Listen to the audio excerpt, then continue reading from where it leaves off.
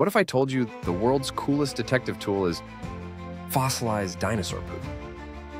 Yep, meet coprolites, the ancient droppings that are basically prehistoric time capsules.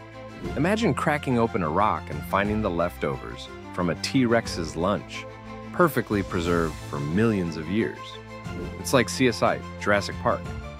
But instead of fingerprints, scientists sift through ancient turds to piece together who ate what, and even how they digested it. Picture a scientist in a lab coat, peering at a dino dung under a microscope, and suddenly discovering tiny bones or plant bits. Some coprolites are so big, you'd need both hands to hold one. Others are tiny enough to fit on your fingertip. Visuals? Show a hand brushing dirt off a mysterious rock, then a close-up of a swirl-shaped coprolite next to a plastic toy dino for scale. Here's a challenge. If you could analyze any animal's poop to learn its secrets, which would you pick? Drop your wildest answer in the comments.